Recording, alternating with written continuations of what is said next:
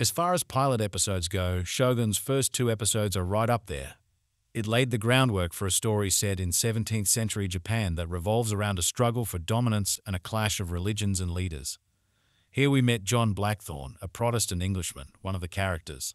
I was intrigued by his predicament and decided to investigate the character and the actual person who was based on further because of it. John Blackthorne was inspired by a real life story that sounds too fantastical to be true, so I decided to investigate it. Here we go. Read on for the unvarnished truth of Shogun John Blackthorne. This video contains spoilers, just so you are aware. Avoid spoilers.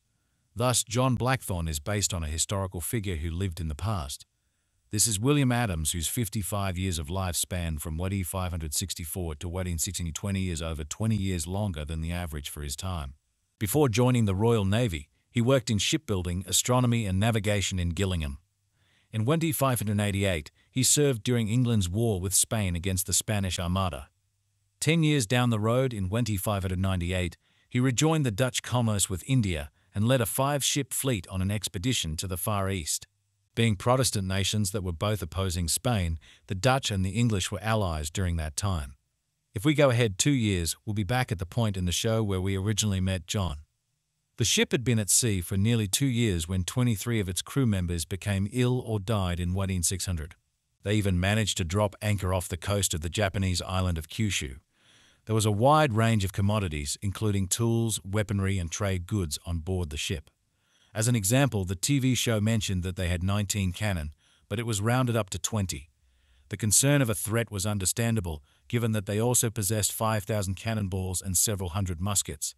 Of the original 100 crew members, 23 were either too sick to continue sailing or were already dead when they reached Japan. Of those, only nine made it to the shores of Bungo in good health. As shown on the show, the crew faced a hostile reception. Some Japanese residents and Portuguese Jesuit missionary priests even went so far as to accuse William and his crew of being pirates and called for their execution. William and the other Catholic members, as well as the Jesuits, were involved in a religious competition. Since William was a Protestant, they naturally disliked him. He was certainly labelled as such by them. This smaller scale confrontation reflected the same mentality as the Thirty Year War that raged over Europe in the mid 17th century, as is known from historical accounts. William, they believed, posed a danger to their efforts to gain control of Japan and its Catholic population. The expansion of the Catholic Church there was their goal, but William had become an obstacle. Osaka Castle imprisoned the rest of the crew as prisoners. This is different from the program. Instead of being brought to Osaka with John, they appear to be kept where they were originally stranded. However, this could alter later in the season. Tokugawa Ieyasu met with William, the inspiration behind Toranaga's character. The son of the recently deceased Taiko was looked after by Ieyasu. To continue with what we saw in the pilot and second episode, Toranaga protected Yaechiyo until he was old enough to govern. The legend goes that in 1600, between May and June, Ieyasu visited with William Adams multiple times each time questioning him on his vast expertise in construction, navigation, and ship design. Something that was boiled down to a single dialogue in the program. The actual William Adams described his meeting with Ieyasu in a letter he sent to his wife, in which he used phrases like, he viewed me well. There were numerous indicators that he gave me, and I did not always understand them all. Considering how far away his home was, he insisted on knowing where I was from and what had brought us here. After that, he wanted to know if our nation had ever been involved in a war. I told him that it was possible, even with the Portuguese and Spaniards, but that it was impossible to achieve world peace. As for how we arrived in the country, among many other things, he probed me with a wide range of inquiries about religion, culture, and everyday life. Using my world map, I showed him how to cross the Strait of Magellan, which confused and led him to believe I was telling the truth. Based on what we saw in episode 2, where John was outlining his knowledge of the world, it appears that the conversation was influenced by a letter that William Adams actually wrote to his wife regarding his meeting with Ieyasu. According to William, Ieyasu rejected the execution request because to a lack of reasonable grounds. There was no international conflict, and William had not caused any physical harm to the land. Therefore, he paid no attention to the Catholics who said he ought to be beheaded for his pirate ways.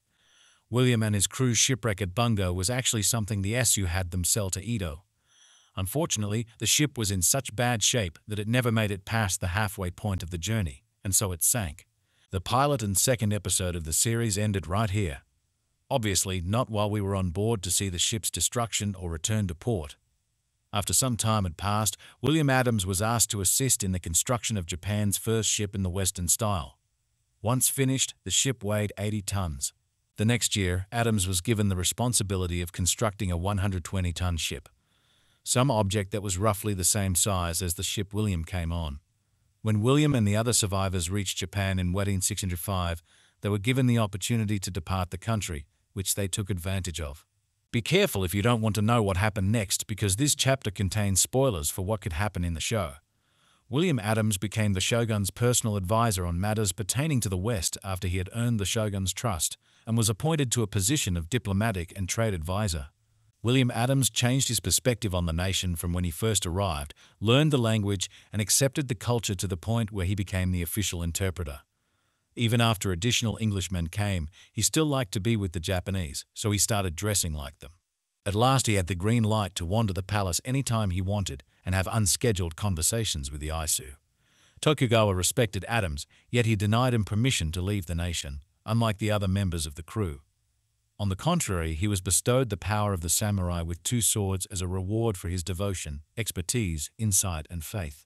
His previous name, William, had died, and he had become known under a new identity, that of a samurai, when he was born. William continued to send money to his wife Mary in England despite the travel ban. As he established a new identity for himself in Japan, he married another woman and had a son and a daughter with them. In his correspondence with the Japanese, William expressed his deep admiration and affection for their culture and people.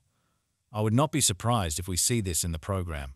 The character John Blackthorne used the term savage as one of his initial remarks upon arriving at the location. However, I have faith that he will eventually come to appreciate them and modify his perspective. This change and the formation of respect have been evident in just the few instances we've had. William not only helped establish trading rights and passages that linked other nations, but he also helped cultivate relationships with Tokugawa.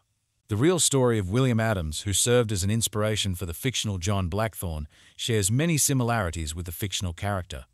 Also, William was named after his son John.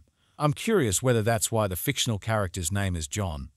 After seeing the first two episodes, it's fascinating to learn more about this topic because the storytelling is so similar to the original documentation. Looking forward to seeing how far they take John Blackthorne because the program seems to be covering a lot of ground, so I'm sure it will be fascinating. Now you know the truth about Shogun John Blackthorne. Press the card in the upper right corner to access more videos on Shogun. Be remembered to check back each week for my recaps of the show, as I will be covering it regularly. You may find my breakdowns of episodes 1 and 2 up there on the